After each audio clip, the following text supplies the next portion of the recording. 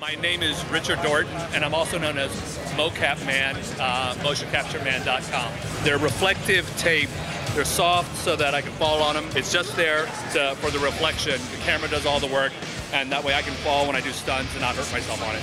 Two, Call of Duty 3, Crackdown, a new game called Left 4 Dead, um, Spawn, Scorpion King, Red Dead Revolver. I've done over 40 games.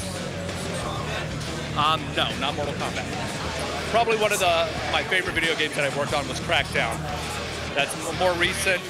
Um, I also I got to play Han Solo in uh, a Star Wars game. You know, and it was all based on how he stood. And then um, Red Dead Revolver is a great Western game, and The Shield. I just I played Vic Mackey in The Shield, and I worked on The Godfather. So it's been I have a whole range.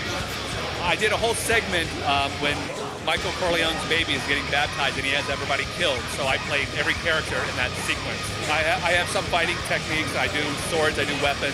I'm used a lot for monsters and creatures. A werewolf characters that have really crazy legs and feet. You find yourself in these like really incredible weird positions. And Left 4 Dead, I play a 600 pound ginormous fat guy who's infected. So as an actor, you have to find that big fat move, you know.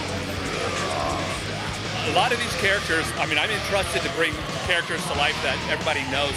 I just finished uh, cinematics on Conan, new Conan video. And so you're like, when you have those kind of characters, Wolverine, I played Wolverine, so, you know, all of them are very special to me. I mean, these are like dream roles for an actor.